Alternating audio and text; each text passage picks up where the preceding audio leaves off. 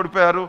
ఇది ఓవరాల్గా చూసుకుంటే ఇప్పుడు హైదరాబాద్ జిల్లా ఉంది. హైదరాబాద్ జిల్లాకు సంబంధించిన విశ్లేషణను రమేష్ అందిస్తారు.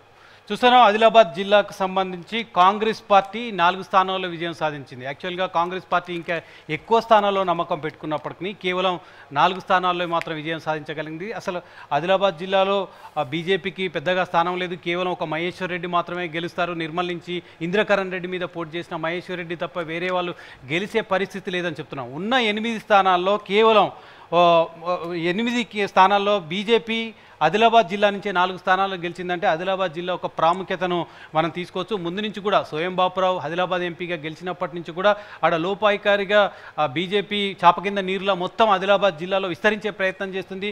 అందులో భాగంగానే మొత్తం పది స్థానాలు ఆదిలాబాద్ జిల్లాలో ఉంటే నాలుగు స్థానాలను బీజేపీ విజయం సాధించగలిగింది. అధికారంలోకి వస్తుందని హ్యాట్రిక్ కొడతామని చెప్పిన బీఆర్ఎస్ రెండు స్థానాల్లో మాత్రమే విజయం సాధించగలిగింది. ఉత్తర తెలంగాణలో ఆదిలాబాద్ జిల్లా పట్టున్న జిల్లా అక్కడ మా మావోయిస్టుల ప్రభావం తీవ్రంగా ఉంటుంది. మాజీ మిలిటెంట్ ఉంటారు.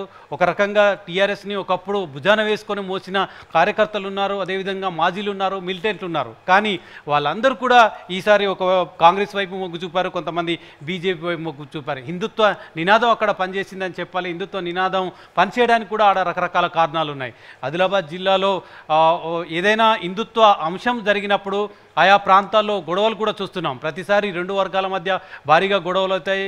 అక్కడ పోలీసులు రంగప్రవేశం చేయవలసిన సిచ్యువేషన్ కూడా వస్తుంది. అంటే ఆదిలాబాద్లో ఎంపీ గెలిచినప్పుడు బీజేపీ మోడీ గాలిలో గెలిచింది అనుకున్నారు. అది గాలి కాదు గట్టిగానే ఉందని. అర్థమైపోయింది. ఎస్ ఖచ్చితంగా. ఎందుకంటే మోడీ గాలి ఉంది తర్వాత అసెంబ్లీ ఎన్నికల జరిగిన తర్వాత జరిగాయి. అదంతా మోడీ ఇంపాక్ట్ పుల్వామా ఇన్సిడెంట్తో ప్రజలు చేతనవంతులయ్యారు. దానికి బీజేపీ గాలి వీచింది అనుకున్నా. కానీ ఇక్కడ చూస్తే నాలుగు స్థానాల్లో బీజేపీ విజయం సాధించడాన్ని అంత తేలిగ్గా తీసుకోలేం. అంటే హైదరాబాద్ నుంచి మొదలుకొని క్రమ క్రమ క్రమ క్రమంగా బీజేపీ మొదటి తెలంగాణ మొదలయ్యేది ఆదిలాబాద్ వరకు కూడా విస్తరించిందని చెప్పడానికి ఇది నిదర్శనంగా చెప్పవచ్చును. కాంగ్రెస్ పార్టీ కూడా ఒకటే సీటు పోయినసారి ఆసిఫాబాద్. ఆయన కూడా బీఆర్ఎస్లో చేరిపోయాడు ఆత్రం సక్కు. ఇప్పుడు ఆ ఒకటి నుంచి నాలుగు వెళ్ళింది బీజేపీ మాత్రం అనూహ్యంగా పెరుగుతోంది. ఆదిలాబాద్ జిల్లా లాంటి చోట్ల బీజేపీ పెరగటాన్ని అటు కాంగ్రెస్ కానీ ఇటు బీఆర్ఎస్ కూడా సీరియస్గా తీసుకోవాల్సిన పరిస్థితి ఉంటుంది. కాంగ్రెస్ పార్టీ అక్కడ నాలుగు సీట్లకు పరిమితం అయినప్పటికీ కూడా బీజేపీ సమానంగా నాలుగు సీట్లు రావడం అనేది ఆ పార్టీ సమీక్షించుకోవాల్సిన విషయంగా కూడా మనం చెప్పుకోవచ్చు రమేష్.